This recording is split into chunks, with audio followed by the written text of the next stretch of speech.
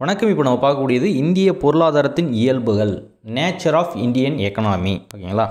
இந்த இந்திய பொருளாதாரத்தின் இயல்புகளை பற்றி சுதந்திரத்துக்கு பிறகு சுதந்திரத்துக்கு முன்பு அப்படின்னு பார்த்துக்கலாம். ஏன்னா சுதந்திரத்துக்கு முன்பு இருக்கக்கூடிய நிறைய விஷயங்கள் உங்கள் குரூப் குரூப் ஒன் மெயின்ஸ் எக்ஸாமுக்கு ரொம்ப பெனிஃபிட்டாக இருக்கும். குரூப் ஒன் ப்ரிலிமினரிலையும் ஓரளவுக்கு கேட்கலாம் ஓகேங்களா?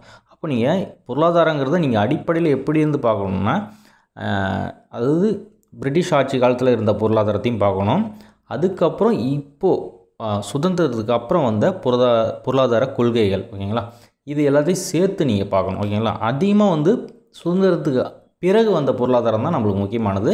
அதுக்கு முன்னாடி இருக்கிறது இந்தியா சுதந்திரம் அடைந்தவுடனே பிரதமராக இருந்த நேருவுக்கு பார்த்தீங்கன்னா இந்த சோஷியலிஸ்ட் கொள்கை மேலே ஆர்வம் அதிகம். அதாவது பார்த்தீங்கன்னா கம்யூனிச கொள்கை. அதனால் வந்து அதிகமாக இங்கே வந்து பப்ளிக் செக்டார் தான் இருக்கணும். ப்ரைவேட் பார்ட்னர்ஷிப் ப்ரைவேட் செக்டாருக்கு வந்து ரொம்ப முக்கியத்துவம் கொடுக்கக்கூடாதுன்னு அவர் முடிவு எடுத்ததுனாலேயே நம்ம வந்து ஆயிரத்தி தொள்ளாயிரத்தி தொண்ணூற்றி ஒன்று வரைக்கும் கூட நம்ம வந்து பழைய பொருளாதாரத்தில் தான் இருந்தோம். அதாவது பார்த்திங்கன்னா பப் மிக்ஸ்டு எக்கனாமி அப்படின்னு சொல்லக்கூடிய அந்த இதில் தான் இருந்தோம். அதுக்கப்புறம் பார்த்திங்கன்னா லிபரேஷேஷன் ப்ரைவேட்டைசேஷன் குளோபலைசேஷனுங்கிற அந்த எல்பிஜி மாடலுக்கு எப்போ வந்தோன்னா ஆயிரத்தி தொள்ளாயிரத்தி தொண்ணூற்றி ஒன்றுக்கு அப்புறம் வரும். ஓகேங்களா? அதுக்கு முன்னாடி ஃபுல்லாகவே வந்து பார்த்திங்கன்னா மேக்சிமம் பப்ளிக் செக்டார் தான். அதாவது கவர்மெண்ட் நடத்தக்கூடிய நிறுவனங்கள் தான் அதிகமாக இருந்தது.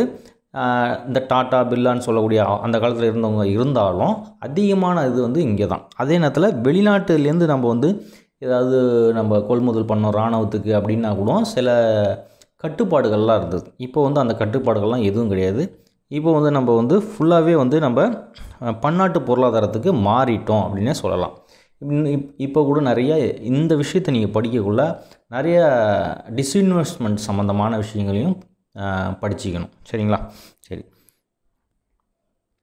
அப்போ இந்திய பொருளாதாரங்கிறது ஒரு கலப்பு பொருளாதாரம். ப்ரைவேட் பப்ளிக் ரெண்டுமே இருக்கக்கூடிய ஒரு இந்திய பொருளாதாரத்தை பொறுத்த வரைக்கும் வேளாண்மைங்கிறது ஒரு முக்கிய பங்கு வகிக்கிறது. பதினேழு சதவீதம் அதாவது இதுக்கு முன்னாடி பதினாலு சதவீதம் இருந்தது ஸ்கூல் புக்கில் பதினேழு சதவீதம் கொடுத்துருக்காங்க. ஓகேங்களா?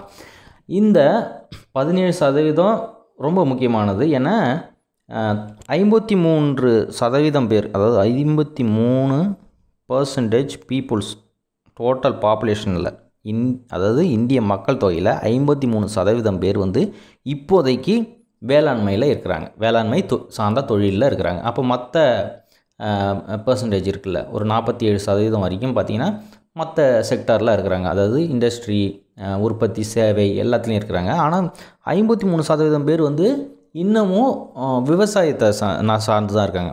ஆனால் இது ரொம்ப கம்மி இப்போதைக்கு ஓகேங்களா? நம்ம சுதந்திரம் அடைஞ்சதப்போ பார்த்தீங்கன்னா எண்பது சதவீதத்துக்கு மேலே நான் சொல்கிறது ஒரு தோராயமாக எண்பது சதவீதத்துக்கு மேலே வந்து விவசாய தொழிலில் தான் இருந்தாங்க. அப்படியே குறைஞ்சி குறைஞ்சி அறுபது எழு எழு எழுபது அறுபது அப்படின்னு வந்து இப்போ ஐம்பத்தி மூணில் இருக்குது. அது டோட்டல் பாப்புலேஷனில் அப்போ பார்த்திங்கன்னா விவசாயங்கிறது குறைஞ்சிக்கிட்டே வருதுங்கிறத இது வந்து நம்மளுக்கு உணர்த்துது. அது மட்டும் இல்லாமல் அர்பனைசேஷன் அதாவது பார்த்திங்கன்னா நகரங்கள் வளர்ச்சி அடைகிறது அப்படிங்கிறதையும் இது காட்டுது. ஓகேங்களா? இதை பற்றி நீங்கள் நேச்சர் ஆஃப் இந்தியன் எக்கனாமியில் ரொம்ப ஓரளவுக்கு தெரி நல்லா ஓரளவுக்கு தெரிஞ்சு வச்சுக்கணும். வளர்ந்து வரும் சந்தை. இந்திய பொருளாதாரங்கிறது ஒரு வளர்ந்து வரும் சந்தை. உலக முதலீட்டாளர்கள் இங்கே வராங்க. அதை பார்த்திங்கன்னா அமெரிக்காவிலேருந்து நிறையா வந்து இங்கே மைக்ரோசாஃப்ட் போன்ற நிறுவனங்கள் வந்து முதலீடு பண்ணுறாங்க இப்போ பார்த்திங்கன்னா ஆப்பிள் போன்ற நிறைய நிறுவனங்கள் எலக்ட்ரானிக்ஸ்லேருந்து எல்லா விதமான முதலீடுகளும் இங்கே செய்கிறாங்க சீனாவில் இருந்து பண்ணியிருக்காங்க. எல்லா நாடுகள்லேருந்தும் வந்து இங்கே முதலீடு செய்யக்கூடிய ஒரு அளவுக்கு வளர்ந்து வரும் சந்தையாக இருக்குது. இதுதான் ஒரு எக்ஸாம் அதாவது வெளிநாட்டு முதலீடுகளை ஈர்க்கிற அளவுக்கு இந்தியா இருக்குது. வளர்ந்து வரும் பொருளாதாரம் உலகின் பொருளாதாரத்தில் மொத்த உள்நாட்டு உற்பத்தியில் ஏழாவது இடத்துல இந்தியா இருக்குது. வாங்கும் அதாவது வாங்கும் சக்தியில் மூன்றாவது இடத்துல இருக்குது. பர்ச்சேசிங் பவர்ங்களா வாங்கும் சக்தியில் மூன்றாவது இடத்துல இந்தியா இருக்குது. வேகமாக வளரும் பொருளாதாரம் அதாவது ரெண்டாயிரத்தி பதினாறு பதினேழில் ஏழு புள்ளி ஒரு சதவீத வளர்ச்சியை இந்தியா அடைஞ்சிருந்தது. இப்போது ரொம்ப கம்மியாயிட்டா ஆகி இருந்தாலும் இது பெரிய அளவில் இந்தியாவுக்கு வந்து ரொம்ப பலவீனம் கிடையாது. வேகமாக வளரும் பணிகள் துறை அதாவது சர்வீஸ் செக்டார். பணிகள் துறைங்கிறது சர்வீஸ் செக்டார். சர்வீசஸை பொறுத்த வரைக்கும் இப்போ டெலிகம்யூனிகேஷன்ஸு டிரான்ஸ்போர்ட்ஸு மற்ற எல்லா இதுவும் இதில் வந்துடும் ஓகேங்களா? சர்வீஸ் செக்டரில் நம்ம அதிகமாக இப்போதைக்கு நம்ம சர்வீஸ் செக்டர் தான் பண்ணிகிட்டு இருக்கோம் இந்தியாவில். அறுபது சதவீதம் அளவுக்கு சர்வீஸ் செக்டர் பண்ணிகிட்டு இருக்கோம் நகர்ப்புறங்களின் வி விரைவான வளர்ச்சி ஏற்பட்டிருக்கு. இப்போதைக்கு நிலையான பேரளவு பொருளாதாரம். அது நிலையான பொருளாதாரம். ஒரு நிலை ஒரு நாட்டில் நிலையான பொருளாதாரம் இருக்கணும்னா என்ன விஷயம் நடக்கணும் அப்படின்னு பார்த்தீங்கன்னா அங்கே வந்து அரசியல் சிறத்தன்மை இருக்கணும். அரசியல் வந்து அடிக்கடி கவிழக்கூடிய நாடாக இருக்கக்கூடாது. அப்படி இல்லாமல் இந்தியா பொறுத்த வரைக்கும் இது வரைக்கும் ஓரளவுக்கு இப்போதைக்கு எந்த ஒரு அரசியல் எந்த ஒரு பிரச்சனையும் இல்லை. அப்போது நிலையான பேரளவு பொருளாதாரம் எந்த ஒரு பெரிய இதுவும் நம்மளை வந்து இது வரைக்கும் எக்கனாமியை வந்து ரொம்ப பாழ்படுத்துனது கிடையாது. அதனால் வந்து நிலையான பொருளாதாரமாக இருக்குது. மக்கள் தொகை பகுப்பு. மக்கள் தொகையை பொறுத்த வரைக்கும் நம்ம வந்து ஈஸியாக பகுத்துடலாம் ஓகேங்களா? எக்கனாமியில் எப்படி இருக்கிறாங்க அப்படின்னு எக்கனாமிக்கலாக மக்கள் எப்படி இருக்கிறாங்க நம்ம சென்சஸ் எடுக்கிறோம் நிறையா இது பண்ணுறோம் அதனால் டேட்டாஸ்லாம் நம்மளுக்கு அதிகமாகவே இருக்குது. இந்தியா பொருளாதாரத்தின் பலவீனம் என்ன? அதிக மக்கள் தொகை. இந்தியா பொறுத்த வரைக்கும் மக்கள் தொகை வந்து சுதந்திரத்துக்கு முன்னாடியும் சரி சுதந்திரத்துக்கு அப்புறமும் ஒரு பெரிய தலைவலியாக இருக்குது. என்ன காரணம் பார்த்திங்கன்னா ஒரு பத்தாயிரம் பேருக்கு பிளான் போட்டால் அது வந்து ஒரு வருஷத்தில் பார்த்திங்கன்னா இருபதனாயிரம் பேராக ஆகக்கூடிய ஒரு நிலமை நிலைமை இருக்கிறதுனால இது வந்து ஒரு பெரிய தலைவலி. ஏற்றத்தாழ்வு மற்றும் வறுமை.